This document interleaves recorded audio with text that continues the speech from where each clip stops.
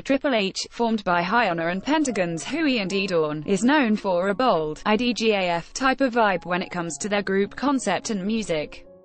Since the trio's debut in 2017, the three members have grown extremely close.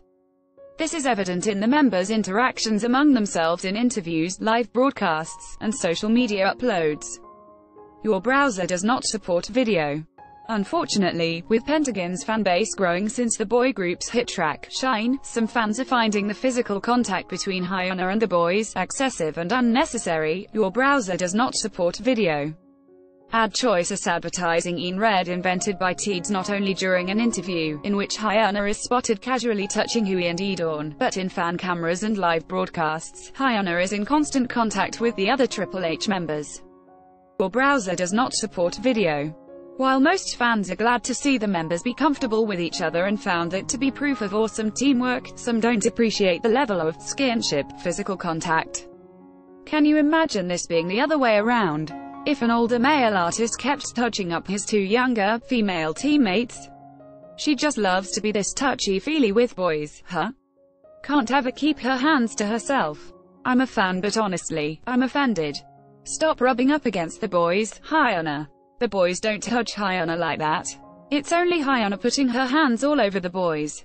That's teamwork. Or it's because they get along so well, coming from the same agency. I don't think so. Hyuna never did that to her other male partners. What makes me even more upset is the comments that these footages get.